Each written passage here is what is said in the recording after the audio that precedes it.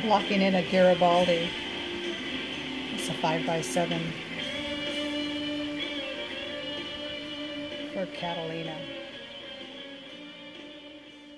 Now this stage is when I filled in all the blanks. And the last thing I'm going to do is do the highlights and some algae or, or seaweed strands and a couple accents. That's it. It's done. It will be done.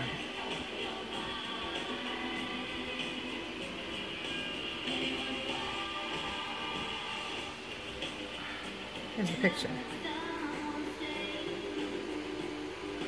Uh, it's not showing very well, but artistic rendition off the picture. And plus, I was snorkeling. I took this. Okay, done.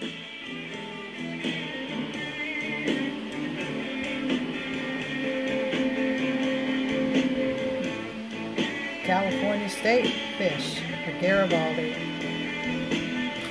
Swimming.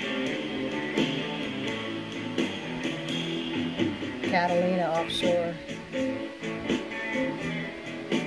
And just the right amount of highlights. Hardly did any accents.